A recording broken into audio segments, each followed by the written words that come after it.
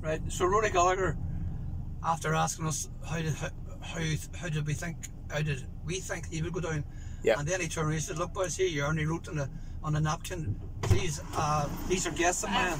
Please let them in for a free tonight, right?" Yeah. When I got to the door and, and presented the tissue that night, the doorman who knew my father looked at it and tore it up in front of me and says, "You wrote that yourself.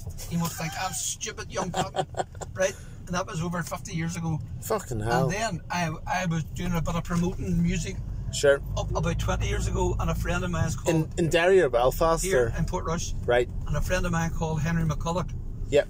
uh, used to play. He was the only Irish man who played in Woodstock 50 years ago, and he's the only Irishman. Yeah, I I, I, I, Wings. I know the name. Right, You know. and he played in Wings, and Henry and I became good friends. Yeah, Wings with Clapton. Yeah. No, no, Wings with Paul McCartney. Oh, sorry, sorry. After the Yeah. Beatles broke up, right? So then I, I was done some concerts, and I was doing an outside a festival, a, a mini festival, just up here in Magilligan, and I, and Henry was uh, uh, the headline act, Henry McCullough band, Yeah. and Henry says I might have a surprise for you because Rory Gallagher has phoned me and asked could he come over and stay for a month so he can get off the beer Yeah.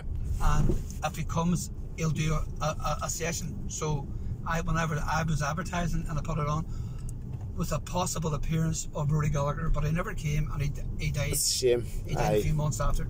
So there you are. That's, that's my connection. Liver- to Rory, liver Rory Gallagher. cancer.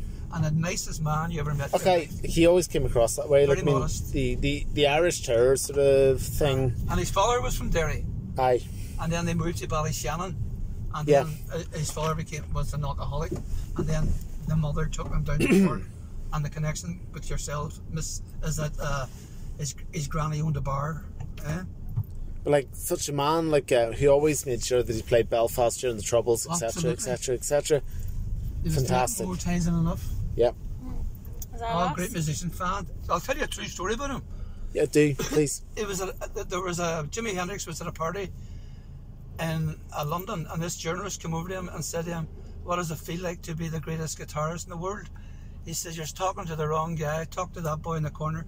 His name's Rory Gallagher. He's."